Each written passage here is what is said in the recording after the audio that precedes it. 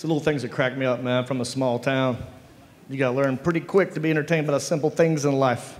You know what I mean? Like the Burger King. Not a Burger King, like there might be several in the world. It was the Burger King, man. I remember the day we got our Burger King. It was a huge deal. Were balloons. They had that one dude that just goes out there and like. There's people outside just looking at it, man. Look at that. Look at that. Looks like it does on the TV, huh? One day I will work here.